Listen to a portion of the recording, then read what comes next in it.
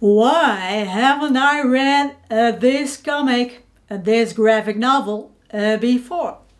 Hello, I'm Annie and it is Thursday. It is the first Euro comic Thursday on my channel. And on every Thursday I will discuss a European comic or European graphic novel. And this time I am going to talk about the Incal. The Incal was written by uh, Jodorowsky and was drawn, the illustrations were drawn by Moebius. And I read the Dutch uh, serialized edition uh, with these uh, very, uh, very nice uh, covers by Moebius, of course. In the 1980s, uh, 1980 uh, to 1988, these uh, stories, or it's one ongoing story, uh, was published in the French magazine Metal Hurlant. And uh, this is also available in English, uh, and then it is bundled in one chunky a graphic novel so you can can enjoy it all at once. This is the last one in the edition in this edition. So why haven't I read it, this absolutely uh, brilliant uh, graphic novel uh, before? Well, that's I'll keep it short I started uh, to collect this series. Een verhaal van. A story uh, by. And it is a series, most uh, uh graphic novels are uh, standalones, but uh, there were authors that I liked and collected very much. for example, Hugo Pratt uh, has two uh, comics, uh, graphic novels in this series. Then I thought, well, I have a couple of those, why not collect them all? So I managed to get these. But I will put the English one up there. Well, the reason why I haven't read this before is was that uh, well it's science fiction. It is absolute brilliant science fiction. But I thought I never uh, liked science fiction. So I didn't read uh, I didn't start to read it. But for September for science September where uh, that was a reading event where we read science fiction and science facts. I read a science fiction uh, novel, Transfinite Man, and I enjoyed it so much. Very, it was an excellent story. Uh, I will uh, uh, put a link in the description to my review of that. It was really brilliant. So I decided to give this a go. And I was reminded that I had this series by Fede over at Fede's Books. I will link his channel in the description box below. And he talked about the Metabarons. And the Metabarons is in a story, a different uh, story series. And it is set in the same universe as the Incal. And so I was reminded I have the Incal. So what the story is about? The story is about John Difool. And he is a Class B private investigator. It is really a bit difficult to explain what the story is really uh, about because, um, uh, well, it's a bizarre story. Uh, it is written by uh, Alejandro uh, Jodorowsky, who is master in uh, bizarre storytelling. Uh, I did see his film, and maybe you've seen it already.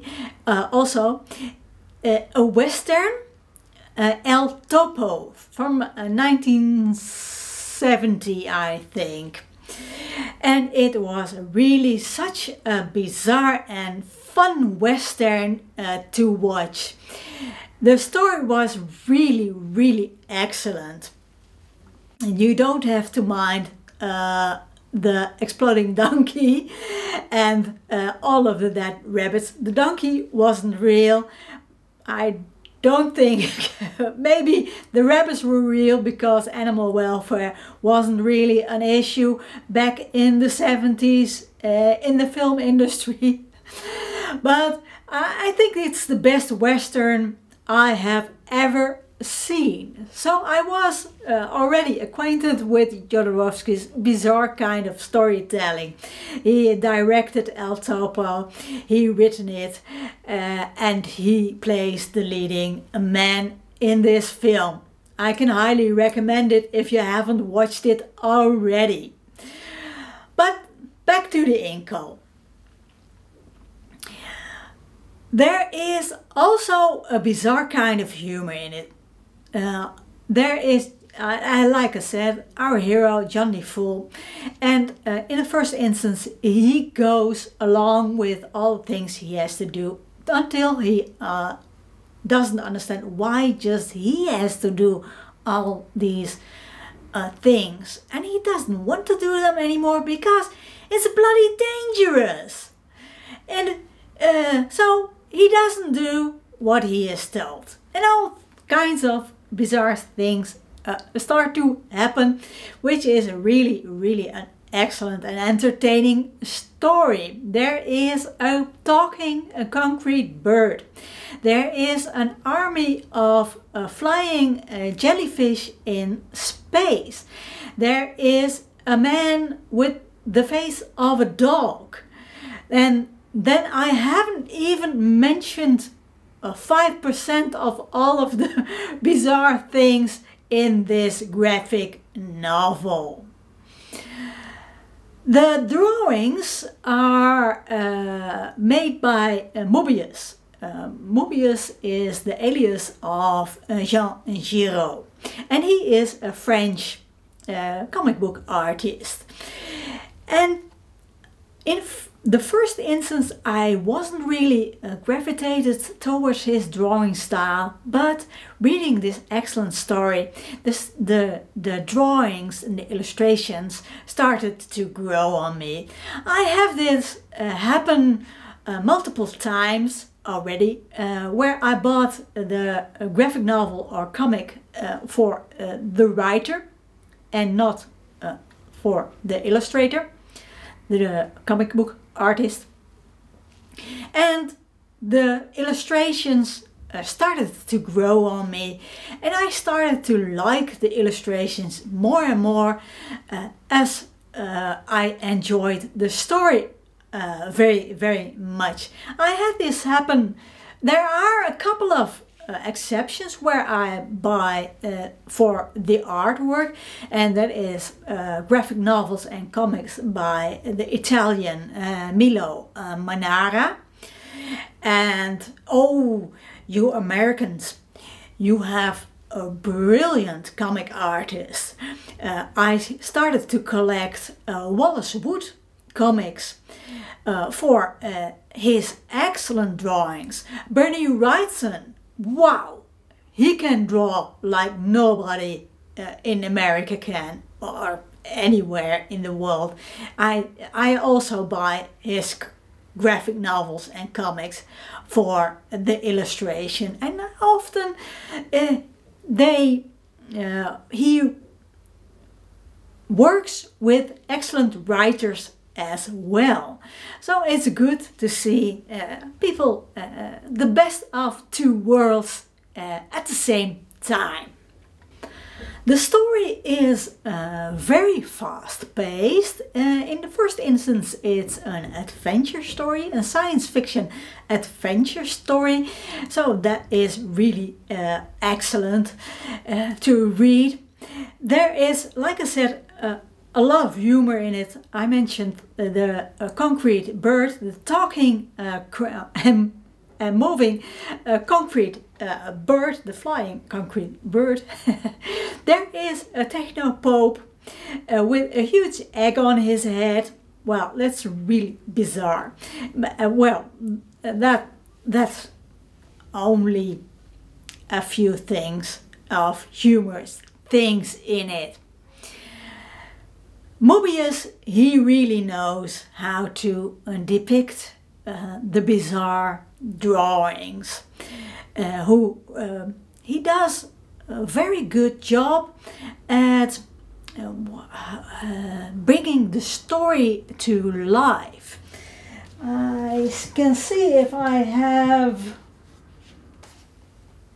like here there are some uh, flying uh, jellyfish. Um, so you can it, it's really really really excellent. I can see if I have another bizarre or uh, sort of there is some bizarre things uh, going on out there as well so I'd like to know do you collect uh, comics or graphic novels? What do you uh, collect? And uh, well, do you collect them for the illustrations or uh, for uh, the stories or both?